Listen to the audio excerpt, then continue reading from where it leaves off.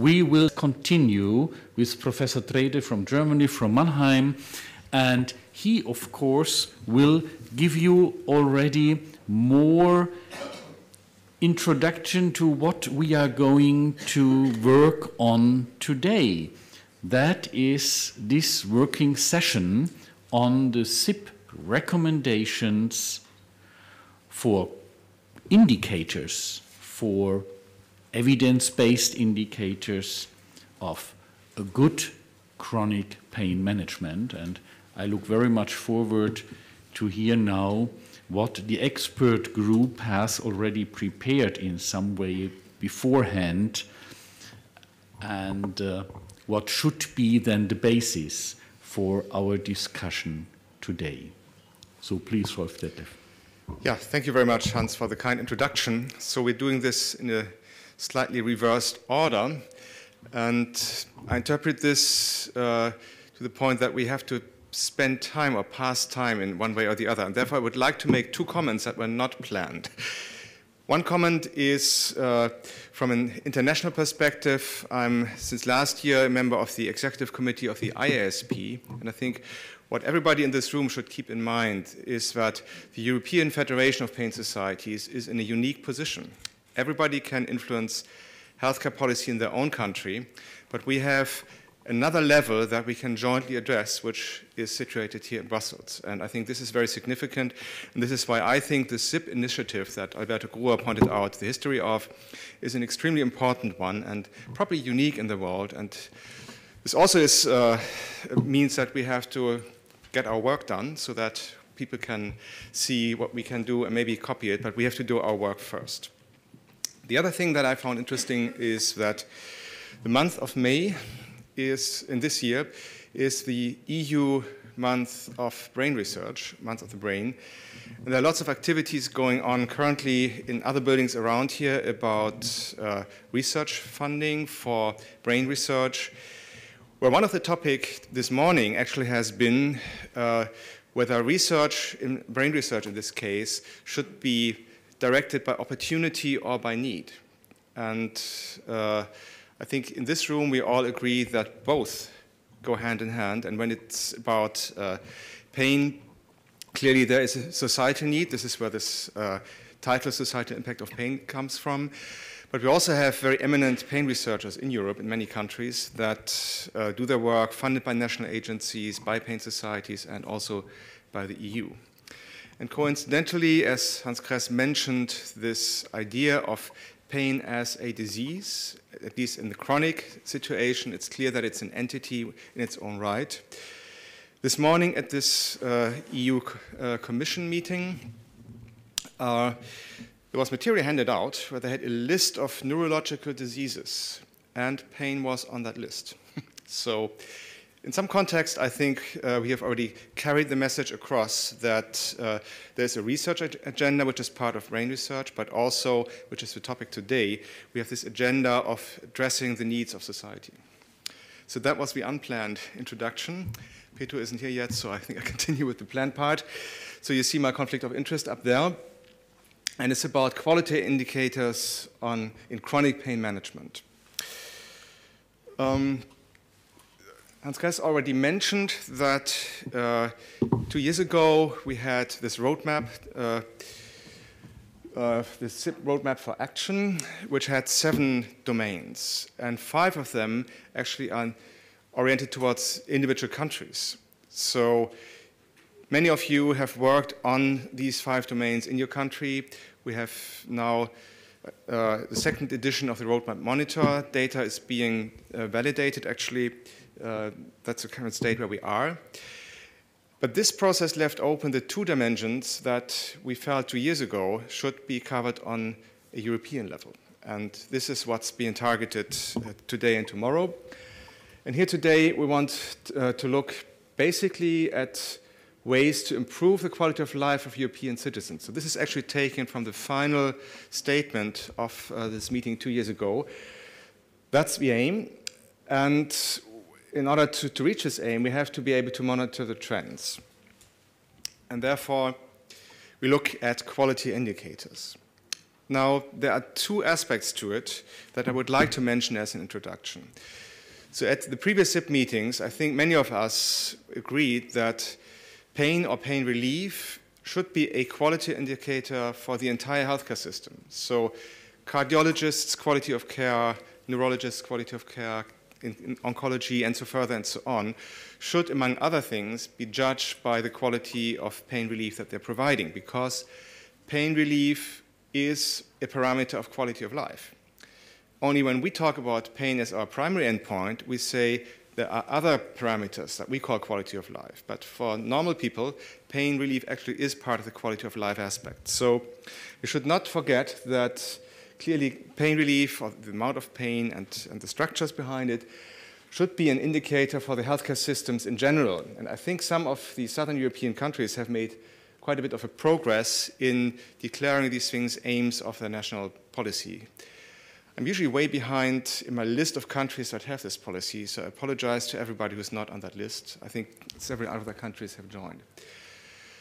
So, what we're here today uh, to do is to look at basically the quality of what we can provide. So, really looking into the mirror and say, what is it that we can do and how can we monitor the quality of what pain physicians or also general practitioners who provide pain care to, to, people can deliver. So we look for quality indicators for pain management.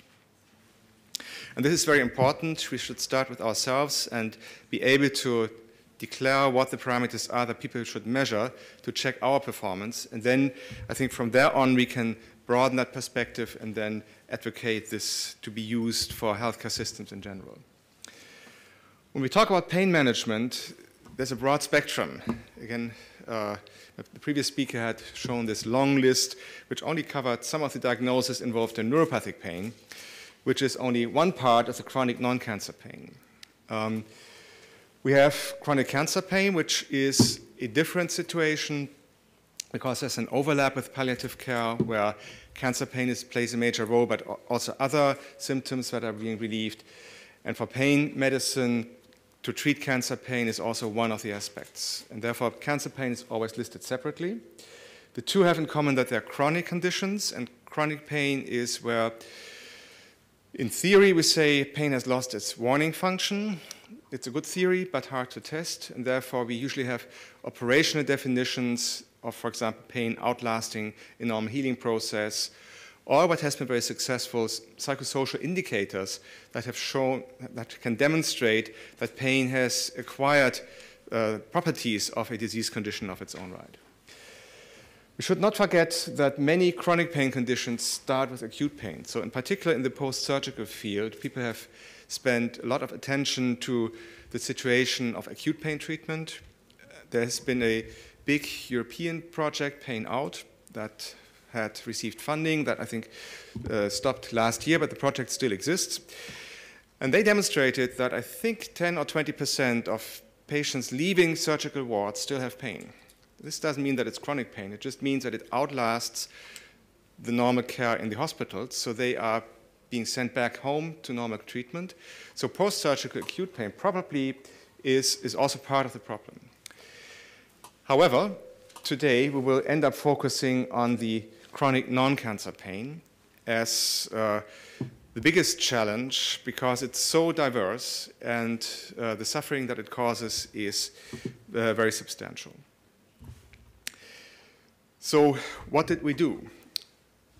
So the starting point was supposed to have been presented to you by Pedro Saturno already, Plataforma Sin Dolor, which was basically an effort in Spain that went through the literature to look at possible indicators, then went through a validation process that I hope we will hear a little bit later, and came up with a list of indicators. And then for, for the SIP uh, focus group, a group of experts from a number of countries uh, that included Pedro Saturno here, looked at these indicators and commented them in two ways. We gave ratings to the perceived importance of what the Spanish group had developed and pilot tested in three different settings in their country. And we also came up with additional indicators and tried to have a rating and selection. Now, it, as it turned out in this process, uh, you did receive material of the preliminary status of this process, but it's not a paper that we ask you to sign. It's very much work in progress. And I think you will see why it is work in progress when I go through the next couple of slides. So, oops, uh, wrong one, this one here. So this is uh, basically taken from the list of the indicators from the Spanish uh, uh, project. You see the average ratings given in this column here, and you see some of the papers that can be quoted to provide the evidence that these uh, are meaningful parameters. So we have different types of indicators. So structure indicators in general, for example, the existence of a national pain strategy received a high rating, and national pain strategies have been published in several countries. Also, the existence of guidelines for diagnosis and treatment uh, was considered to be very important as a structural indicator, and the idea to have a multidisciplinary approach to treating chronic pain. So these would be structural indicators, and where we reach consensus is that these certainly are necessary conditions to start from, and we're not sure whether this list is complete, but the idea is that these are necessary conditions to start from. But then, in order to improve patient care, it's not enough to just uh, twiddle these little knobs here, but other things have to happen. And here the Spanish list continues and looks as process indicators. Some of them are general, for example, whether the multidimensional approach is actually being used. Um, they identified that communication between different healthcare providers is very important, both to improve healthcare and to cut cost, because if communication is poor, things tend to be repeated over and over again, and mostly it's the non-efficient ones that are being re repeated because they haven't been successful, the next person thinks they must be the next time around. So communication, as always, is a very important point.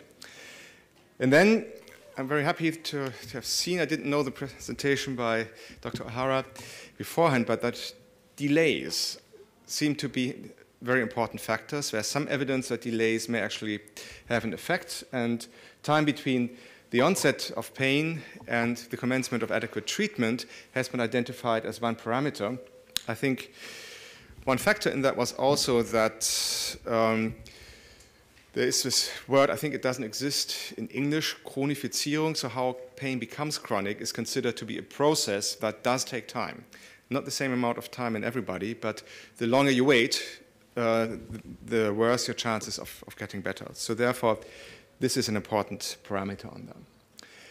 We are still in the process indicators section, and what I think is quite important, and I suggest that you keep in mind, is that there are many, many different types of pain.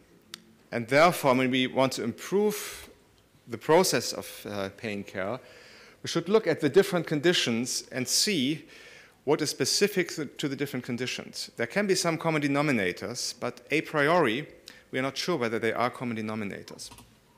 For example, in the headache field, for some reason, only this one parameter survived, which addresses the substance abuse headache which is by no means the only type of headache, but it's actually a very important headache problem when you talk to pain clinicians because these are the patients that they see. It's not the most frequent situation for GPs, but uh, clearly for the pain clinics. Then for non-specific low back pain, so those low back pains where you don't have a simple uh, reason like uh, narrow spinal canal, education and analgesic treatment, which are taken from some of the guidelines. In Germany, there's a national guideline for low back pain treatment, which has, in particular, treatment modalities that are active from the perspective of the patient, plus uh, some of the medical treatments that have good evidence. Those are listed. We have rheumatoid arthritis listed here, and fibromyalgia. And again, these recommendations here are clearly taken from existing guidelines, and the existing guidelines are based on randomized controlled trials, meta-analyses, and all the types of evidence that we have in medicine.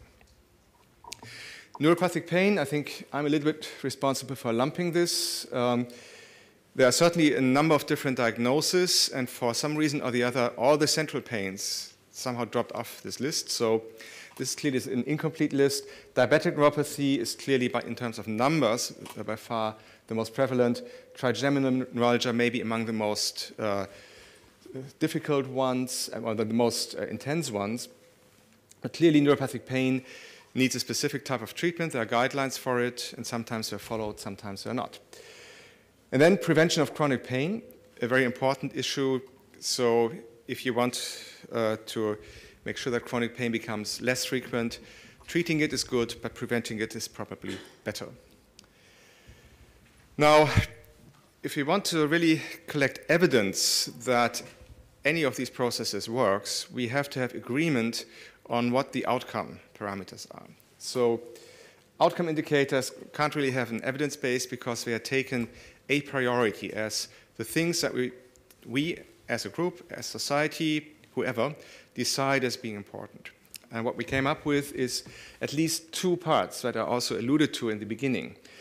Clearly, when we talk about pain, pain relief, either quantified as the level of pain remaining being below a tolerable level, which on the 0 to 10 scale could be below 4, or it could be a certain percentage of change. And the reference that you see here, Dworkin and others of the IMMPACT group had collected from a number of studies data supporting the point of view that if you get a 30% decrease in pain, that is considered significant from a patient perspective and is therefore also used in clinical trials as endpoint nowadays.